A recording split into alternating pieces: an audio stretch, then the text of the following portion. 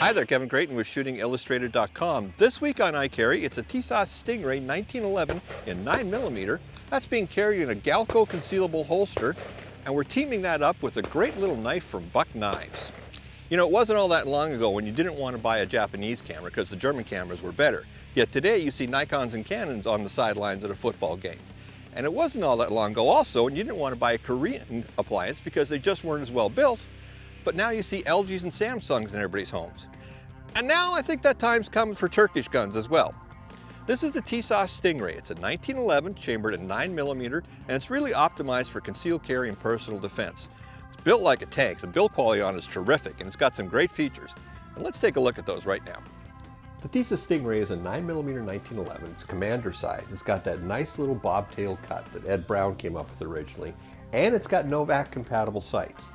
It's fairly lightweight for a 1911, about 26 ounces. It's easy to carry, very easy to shoot. And the best thing about all of this is you're getting that 1911 trigger and that 1911 accuracy. That means, honestly, it feels like cheat mode if you compare it to some of the polymer frame striker fired actions out there.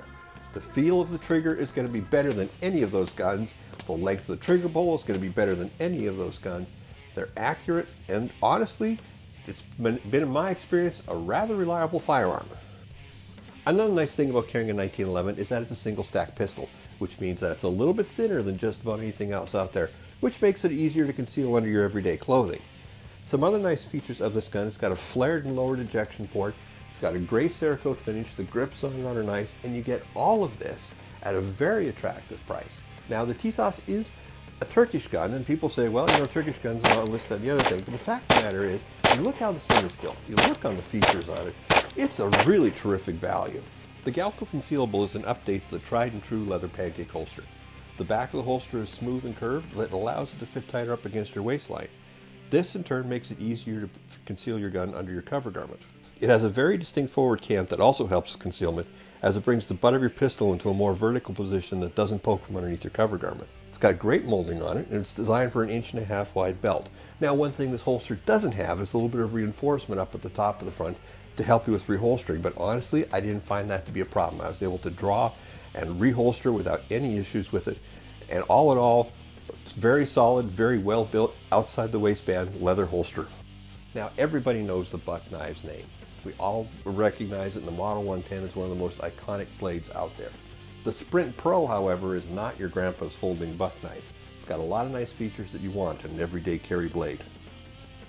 It has a ball bearing pivot, a sturdy handle with a micarta burlap pattern on it, and the nice thing about it is it's got a couple little grooves on the side there to really help you hold it very securely. It's got a flipper on the back, which means that it's great as a utility blade, and that flipper means that it can open up quickly for defensive purposes. It's just 4 and 3 eighths inches long, when closed and it weighs 3.2 ounces, which means it's very easy to carry inside your pocket.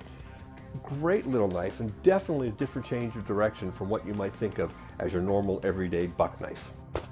Hey, thanks for watching. For more information on the Tisas Stingray, the Galco concealable holster, or that Buck Knives blade, be sure to visit shootingillustrated.com.